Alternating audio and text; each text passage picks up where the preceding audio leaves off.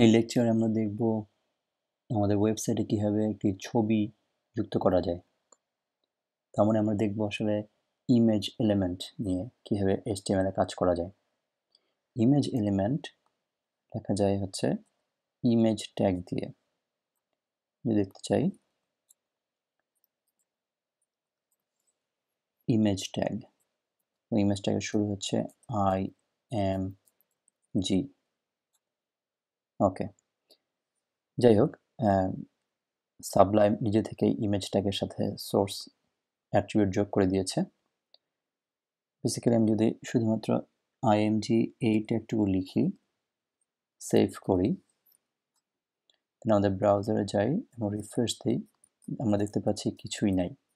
কেন নাই?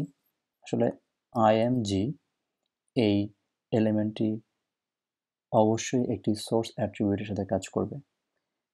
ইমেজ কোথা থেকে ইমেজটি দেখাবে, সেটা আমাদেরকে অবশ্যই বলে দিতে হবে। আচ্ছা আমরা দেখে নিই একটি আমাদের এক্সাম্পল ওয়েবসাইট থেকে বাংলাদেশি কিচেন এখানে আমরা অনেক ছবি দেখতে পাচ্ছি। তো আমরা যে, চাইলে যে কোনো একটি ছবি নিয়ে কাজ করতে পারি বা আমাদের এখানে একটি লোগো আসে। আমি যদি এটার উপর রাইট বাটন ক্লিক করি আমরা দেখতে পাবো সেভ ইমেজ অ্যাজ অথবা open image in new tab আমরা চাইলে রসুনের আচার এই লিঙ্কটিতে যাই।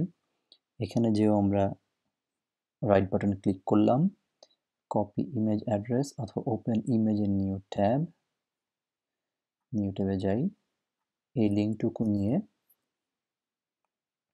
যেটা বললাম সোর্স ইমেজের সোর্স কি সেটা বলে দিতে হবে, আমরা দিলাম। ওকে সোর্স দিয়ে রিফ্রেশ করলাম আমাদের ব্রাউজারে যাই। রিফ্রেশ করি দেখতে পাচ্ছি বিশাল একটি ছবি, আমাদের সেই রসুনের আচারের। আচ্ছা ইমেজ ট্যাগ এবং আমরা সোর্স দিলাম। আর কি কিছু করা যায়? আমরা দেখতে পাচ্ছি আমাদের রসুনের আচার এই পেজে ছবিটির সাইজ বা উইথ এবং হাইট একরকম এবং আমাদের এক্সাম্পল ওয়েব পেজে উইথ এবং হাইট অনেক বড়। আমার কথা থেকে অবশ্যই বুঝতে পারার কথা যে আসলে ইমেজ ট্যাগের সাথে সোর্স অ্যাট্রিবিউটের সাথে সাথে উইথ এবং হাইট এই দুটি অ্যাট্রিবিউটও চাইলে আমরা যোগ করতে পারি।